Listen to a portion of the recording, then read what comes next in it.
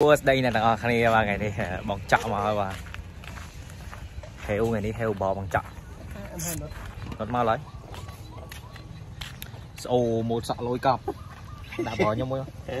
បងស្ដាប់បត់ខ្ញុំហើយណាហើយហើយទេហើយហើយលុយហ៎លយអេម trời ចុយមានបងប្អូនថាឲ្យថតមើលបញ្ចក់បាទឥឡូវមកថតប្លុកមើលបញ្ចក់នេះលក់បពិតពិតពិតពិតអត់មានខ្លាយខ្លាយបងប្អូនលក់មែនតើណាមែនលេងលេងណាមែនលក់បខ្វិតណាក្នុងរឿងណា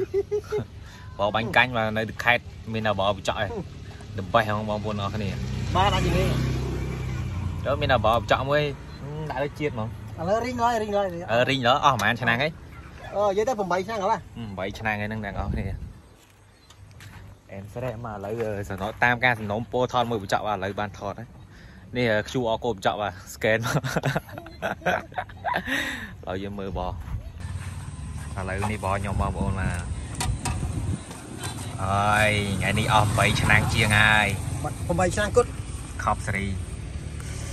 អត់មានតិចលក់លក់សរុបលុយឲ្យមានកັບលុយចូលការ៉ាអូខេណាមួយថ្ងៃអាហ្នឹងវាត្រូវការយើងស៊ីឈ្នួលគេយើងត្រូវការកាប់ខ្លះអូចាំមើលពុនឃើញខ្ញុំអត់ដឹងទេខ្ញុំអត់ដឹងទេនឹងដោះស្រាយខ្លួនឯងអត់ទេនិយាយលេងដែរនិយាយលេងដែរនិអើយាយលេសំងខាន់សក់ទៅដាក់ពណ៌មែន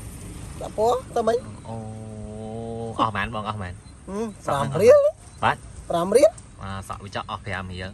ស្ទៀវខប់ហ្មងបើប៉ុណ្មិនណឹងសៀវទេមិនធ្វើមិនទេមុខដូចបងឆៃរៈយុទ្ធឥឡូវតែយកតែមកទៀតទេមួយទេមកទៀតហើយបងឥឡូវបង